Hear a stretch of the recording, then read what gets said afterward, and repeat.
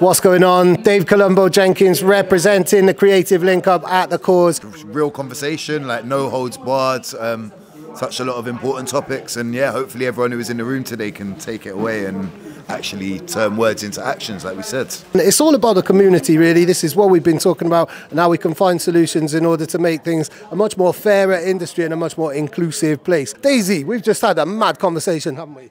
Yeah, I think we've been talking about some really good stuff. Basically, we need to build the community back, we need to create opportunities, we need to make positive changes, uh, and I think things like this are going to really help. Around 2016, we started Dazed, which was in Blue Mountain. Such an exciting time for us. And if you're watching this and if you're intrigued or if you're looking for a place in the industry, please come down to the Creative Link Up with the cause.